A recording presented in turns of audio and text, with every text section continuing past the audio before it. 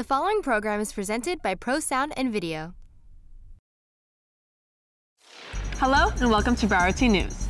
We're from West Broward and we're here to give you the latest and greatest news from young journalists all around the county and the country. Stay tuned to learn about how a small motel on the West Coast handles the struggles that come with the business of residing in a busy city. How a high school junior takes matters into her own hands by creating an Instagram to promote small businesses. How a local sushi chef brings culture into his community. How a local artist shares her passion for Alcohol ink art. And much more on this edition of Broward, Teen News. News.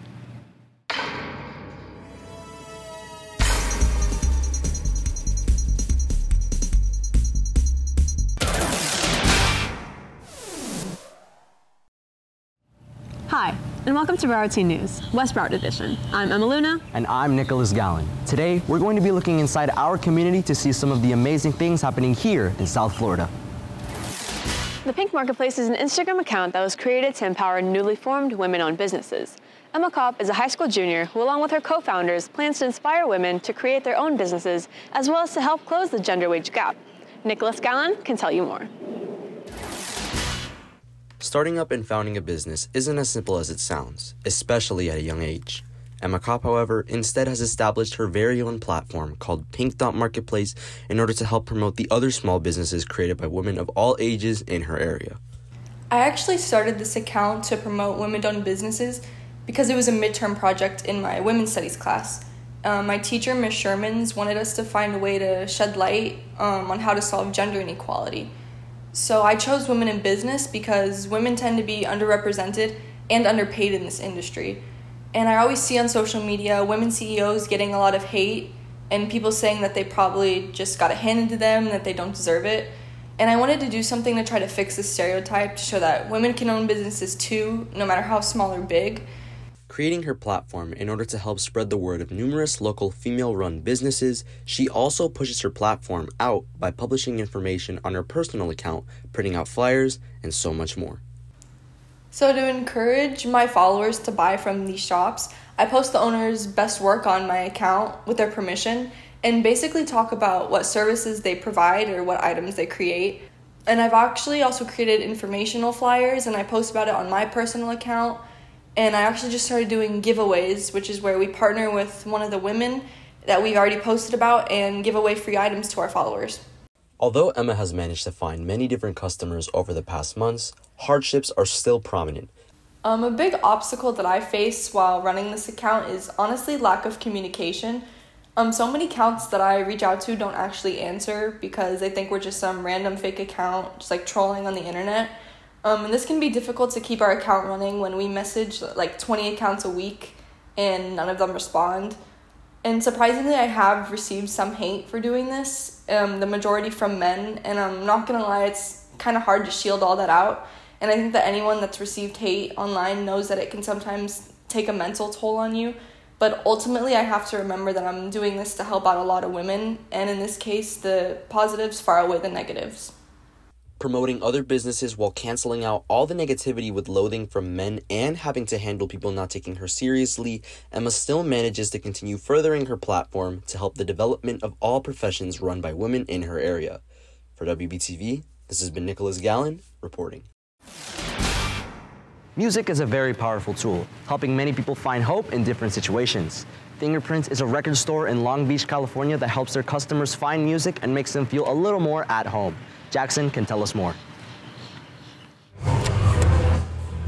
Whether it be problems with school, work, or mental health issues, it goes without saying that everyone deals with daily setbacks.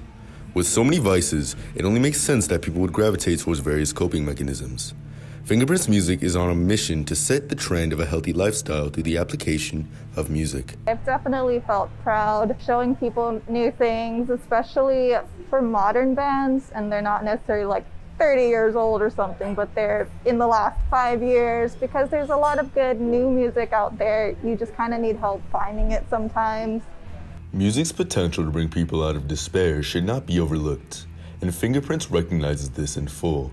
Their strong passion for music, along with their extensive catalog of artists, has allowed customers to feel truly at home. I definitely find hope in hard times through music. There have been some times where I get lifted out of a bad place um, especially during some family drama. I feel like, or like lack of love or something like that, it does kind of lift you out. It makes you feel like there's something ahead, some better times ahead for sure. Fingerprints Music holds one of the largest archives of music in all of Long Beach, California. But to the people who frequent it, it's a comfortable area where they can find ways to express their emotions and find the hope that everything is going to be alright. For STN, this has been Jackson Gay, reporting.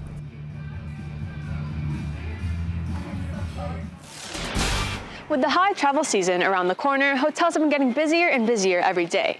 The Belmont Shore Inn is ready to stand up and compete against the big franchise hotels around Long Beach, California with a smile on their face. With high season traveling about to begin, hotels have been getting busier even during the pandemic. With things settling back into place, the Belmont Shore Inn in Long Beach is ready to take on that challenge. My name is Naveen Bhai M. Patel and my position of this property is the manager. This is a very small uh, boutique inn, so we do not uh, provide uh, breakfast and and shuttle service or whatever, but the rest of the all we try to give a good service. In fact, the inn has made roughly $600,000 renovations to its 15 units to give it a more modern look, despite the unfortunate challenges they had when COVID struck the area. That's why business is a little bit so slow. It's that sanitizing the room. 99.99% people happy with our service. Nonetheless, the Belmont Shore Inn continues to get back on track to grow and improve. For STN, this has been Matthew Million reporting. Artisan goods are hard to find. Now, we'll learn about a local baker who strives to bring her amazing artisanship, baked goods, and coffee to the community with her bakery in Pembroke Pines. Giancarlo can tell us more. Lady Baker is a bakery in Pembroke Gardens that features a menu of delicious artisanal breads that's changed every week. It was started by Paolo Marsola's vision of a place where people in Weston could get access to a variety of quality breads. I am so happy uh, to bring good things to the community because we don't have a good bakery around here. We don't have good croissants, good breads, good coffee. Every time I put a new item on the menu, I, I, want them all to try. I said, oh my God, I'm offering this to the community. So for me, it's amazing to be part of this. I have customers that come every day for the cappuccino, every single day. I have customers that come every single day to have a croissant.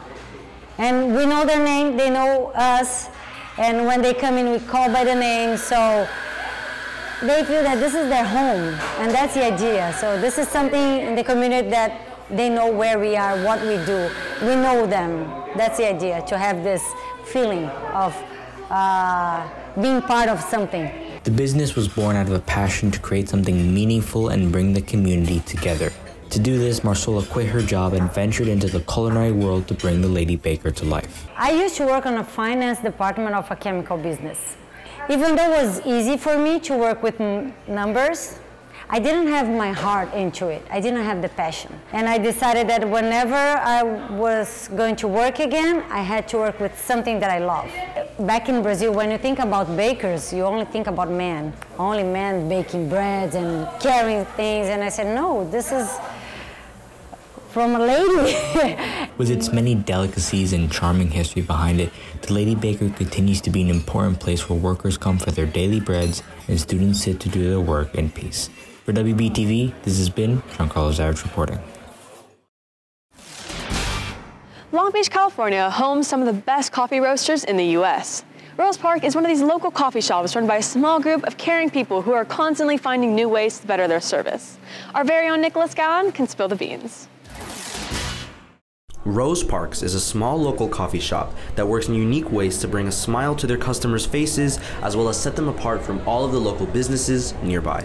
I think we're a lot more friendly than everywhere else. We're, we try to make you feel like you're cared for when you walk in here, and that starts from even before you walk in here. That starts from like our roasting, um, which happens locally, and it's done with a lot of care creating a caring atmosphere for all of their customers, they make sure that they can provide the friendliest experience for everyone as soon as they walk through the door. When we make the drinks, when we interact with our customers, we just want to make sure that you feel like you're cared for and you're getting a good experience.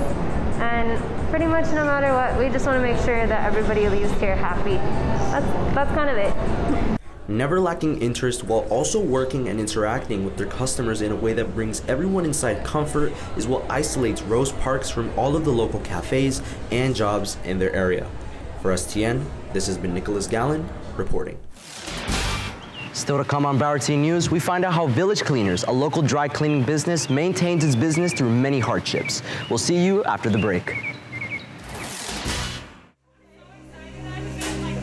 Try and live by a standard of, uh, you know, leave more on this planet than you take. My daily interaction with people, I know how hard it is out there, and I feel very lucky and grateful that I get to come to a job. I have a roof over my head, food in my belly. So I try and bring, you know, that light and that joy to people I meet out on the street as well. Because a lot of people, you know, they don't have it so easy. People fall on hard times. So I like to bring some light and some levity and some laughter too. Alex Figueroa owns one of the many dry cleaning businesses here in South Florida. Despite overcoming many hardships, he's committed to providing good service and staying loyal to his customers. Giancarlo can give us the scoop. Alex Figueroa is the owner of Village Cleaners, a dry cleaner in Fort Lauderdale that serves many clients every day. Figueroa owned another dry cleaner place before his time at Village Cleaners and recalls the struggle of going from nothing to owning this successful small business. The first cleaners I started in, in 2003. Um, that one I started because a close friend of mine was in the business, and then I wanted to start my own business, so that's when I jumped into and I opened my own cleaners. Um, it's difficult at the beginning. It's difficult, of course, because everything when it's new. This was brand new, so there was nothing here. The hardest part is at the beginning, of course, because you have no customers. So at the beginning, you have to um, bring people in, and then the people that actually come in, you have to keep them. So at the beginning is that's the hard part. Just after that, you know, people continue to come weekly and stuff. So, but the hardest thing is at the beginning, getting people in your business and then keeping them. Pushing past all the hardships and difficulties, Figueroa has kept Village Cleaners alive and well. He now celebrates the perks of owning this business. Oh, being my own boss, man. It's the best part. Nobody tells you what to do. So that part I enjoy. That's basically why I like owning my own business. Though he's faced a lot to get his dry cleaners to a stable position, Figueroa has remained triumphant as he comes in every day to work at the thriving Village Cleaners. For WBTV, this has been Giancarlo Zayat reporting. Here at BTN, we have the pleasure of working with other schools in the area to find out what's going on here in South Florida. Here's a story from CCNN's Tommy Pozo on how Nerio Amaya of Wet Dream Sushi combines two cultures to bring amazing sushi rolls to South Florida. Here in Coconut Grove, sellers across the world are coming together to bring little slices, or should I say rolls of culture, to this South Florida neighborhood. Meet Nerio, a sushi vendor with a unique twist. I use the technique of sushi um, as a in, in, respect to Asiatic culture, specifically Japanese. Uh, a lot of the flavors I put in the sushi are a mixture between uh, my own roots and the, the Japanese culture that I'm very familiar with. And Nerio's product has attracted people from all over the world. The place where we came from in Australia is a little small surfing town called Byron Bay, but there's not a lot of diversity there. So there's a lot of diversity in Miami. I basically buy my week's fruit and vegetables here and we like to grab breakfast. And the people he surrounds himself with understand the impact his culinary fusion has made. Well, I think it's important to really show how diverse, you know, food and anything can really be. I mean, you would come in here, you would think someone who's making sushi has to be of some type of Asian descent, but it shows just how far someone can work to really be a part of that culture and really learn. You know, I mean, he's been doing this for so many years, and it just shows that, like, you know, if you're really passionate about something, you could pretty much do anything. Every single tent that you see here is a person with a dream. Every single person here is, comes out and, and they're trying to make something of themselves in their own hands. I feel like it's really admirable uh, that so many people come out here. As the sushi rolls out and the day comes to a close, people like Nerio and his plant-based sushi will continue to make visitors feel like they have a piece of the globe right here in their own home. For CCNN Live, I'm Tommy Pozo, reporting. Victim blaming is one of the most prominent problems women face in our country today. Chloe can tell us how victim blaming can impact women, even in settings like school.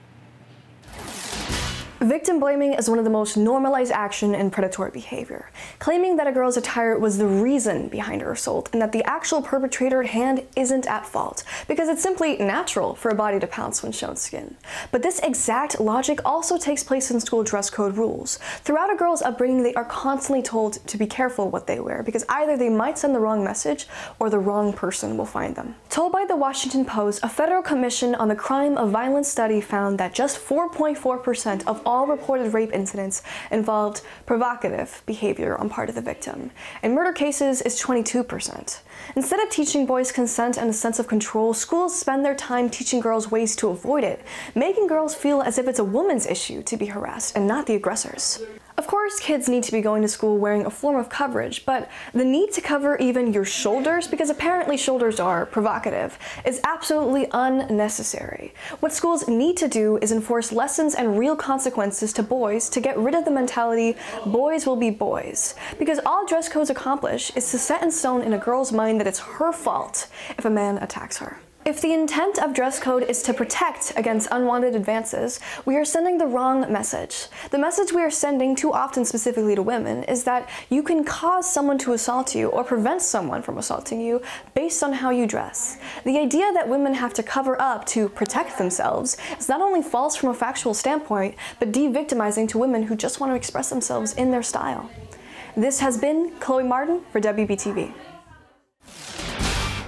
Burgerlicious is an event held by the Coral Gables Chamber of Commerce that strives to bring in all the best burgers and flavors in South Florida to one place. CCNN's Manny Nacarado can tell us more. In its 10th year of celebration, Burgerlicious has been bringing together the best burgers in Miami right here in Coral Gables. Well, listen, tonight what we're doing is we're celebrating the 10th annual Burgerlicious. This is an event put on by the Coral Gables Chamber, and it's a great opportunity to celebrate some of the best restaurants in our city, and also to introduce people who maybe have never come down to the city of Coral Gables, who have never tasted some of our 100, over 150 restaurants here in the city. But more importantly, it's all about community, quality of life, and families. That's why when you look around, you see so many young people, so many families enjoying this wonderful night in the City Beautiful. And none of this would have been possible without the help of the Coral Gables Chamber of Commerce. One of our roles as a chamber, in addition to being great advocates for our businesses, is to help celebrate and promote those that do great things in our community, starting with our restaurants and, of course, the burgers on their menu. Yeah, listen, anytime you get the community of restaurants together, all side by side, we're all working together, we're, we're trading stuff, we're, we're borrowing things from each other. We get to meet each other. It's a, it's a community. We walked over here. Nothing like being in your backyard. Like I feel like I'm cooking out in my backyard, flipping burgers, but for my neighbors. I know this, that when restaurants come back year after year as part of Burgerlicious, it's really about the fact that they've had an incredible experience and they've seen the benefits. They've seen it pay dividends. Folks who come to Burgerlicious and eat a small slider want to go back and experience the full menu and an incredible burger at the restaurant. And I think if we can do that, starting now and continuing into the future, then we have achieved our goals. As Burgerlicious ends for tonight, local residents will go home with a taste of some of the best burgers in Miami. For CCNN Live, I'm Manny Nacarado reporting. No problem. That's what made me hungry. Denise Wallace is a local artist that has an amazing passion for Alcohol ink artwork and strives to share her artwork across South Florida. She'll tell us all about her amazing artwork in this next segment. I am an alcohol ink artist. So I use alcohol ink. It's almost like a watercolor, but for a non-porous surface. And everything that I do is painted with alcohol ink. I've been doing artwork my whole life and doing craft festivals my whole life. I got into the alcohol ink probably about five or six years ago and it just went nuts. And I went nuts with it because I love it and people love it and it just looks beautiful. I do like different layers on them. So like the like the say like the more blue in here. So I do that first. Then I, you know I, I may do 10 or 20 at a time, and then let when I get them all done and they're dry, then I go back and I do all the detail work. now that COVID is not so bad anymore and people are out and about and the festivals are now happening again, this will keep me busy all year round. I do have um, some of my vases in some local stores, so I keep, you know, keep them, keep their inventory going. Um, I work from my home. I have a art studio in my home, and it all gets done there. Oh, it just comes from my heart. It's I paint it with love. When you can do something that you love, it's not work. Next on Broward City News, we'll learn about how a thrift store in Long Beach, California serves the local community. This and many more after a quick break.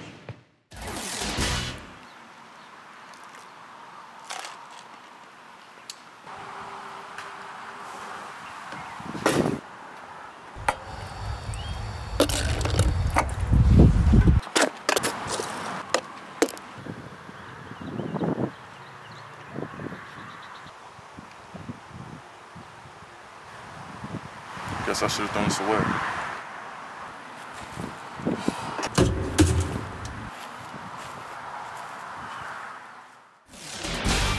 Assistance League is one of the many hidden gems in the city of Long Beach, California. They gather volunteers to help give back to children and adults in the community. Store manager Tammy Klein gives us her story in the next segment.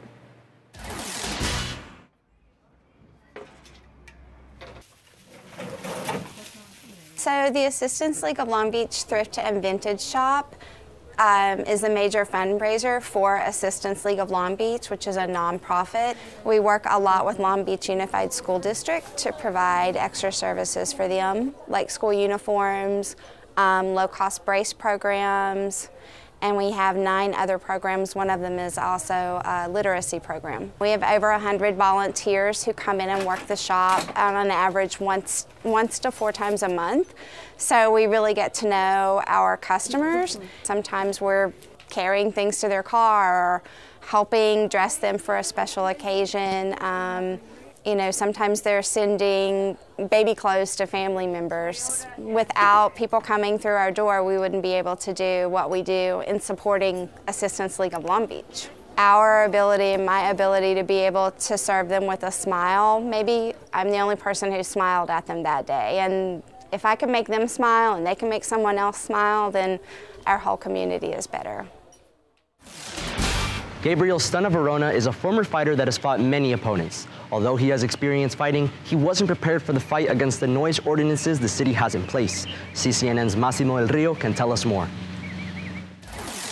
Gabriel Stunna Verona has been fighting his whole life. I've had some very hard physical fights in the cage professionally, and none of them amounted to this. As a former professional fighter, he just succeeded in what he calls the fight of his life. This fight at Stunna's Fit, his gym in South Miami. But this fight wasn't the kind he's used to. We were here, everything was beautiful, everything was lovely, um, city was amazing with us. His neighbors disagreed. They started complaining to city officials and wanted Stunna out. Two years after the initial complaint started, they changed the noise ordinance. Once they did that, then they were able to hit us with all the citations that they wanted to. Neighbors complained the music was too loud. They said they could hear from their homes right behind this fence, which as you can see is directly behind the gym. Once they changed the noise ordinance, of course, then we were illegal every which way because they did it for that. So for the last two years, they've cited me over 80 times, over $50,000 in fines. All this over noise. Those who work out at Stunna's noticed and quickly joined the fight. Everybody in the gym really kind of stood behind him and banded with him. I mean, one of the nights they had a town hall, city hall meeting right around the corner. And I remember I did my training session with my trainer, and then I changed my shirt into a non sweaty one, and we walked over there together and literally packed the room. This fight was worth it. For him, it was a success. They did a settlement deal, and they pretty much got to leave us alone, let us do our business as, we, as usual. Tapping out of this fight was never an option. There was a couple days that were very stressful and very frustrating. And, you know, behind closed doors, I fought it, but no, giving up was never going to be the option. The settlement he reached with the city of South Miami brings things back to how they were here when this fight first started. The noise ordinance back to how it was, and the fines disappeared. For CCNN Live, I'm Massimo Del Rio reporting. Well, that wraps it up from here. From West Broward High, I'm Emma Luna. And I'm Nicholas Gallen. If you want to see other stories like these and more, make sure to follow the Broward Teen News Facebook page. See you next time for the next edition of Broward Teen News.